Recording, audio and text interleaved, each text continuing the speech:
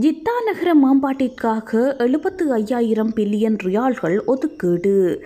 Saudi இளவரசர். சவுதியின் பட்டத்து இளவரசர் Mohammed bin Salman bin Abdul Aziz Al Saud துணை பிரதமர் பொது முதலீட்டு நிதியத்தின் இயக்குநர்கள் குழுவின் தலைவர் மற்றும் மத்திய ஜித்தா மேம்பாட்டு நிறுவனத்தின் இயக்குநர்கள் குழுவின் தலைவர் ஆகியோர் ஜித்தா மாகாணத்திற்கான சிறப்பு திட்டங்களை தொடங்கி வைத்தனர். மொத்தம் எழுபத்தைந்து பில்லியன் ரியால்கள் முதலீட்டில் ஐந்து புள்ளி ஏழு மில்லியன் சதுர மீட்டர் பரப்பளவில் இந்த புதிய திட்டம் செயல்படுத்தப்பட உள்ளது. மேலும் இது ராஜ்யத்தின் அனைத்து பகுதிகளையும் நகரங்களையும் மேம்படுத்துவதில் பட்டத்து இளவரசரின் ஆர்வத்தின் ஒரு பகுதியாக உள்ளது.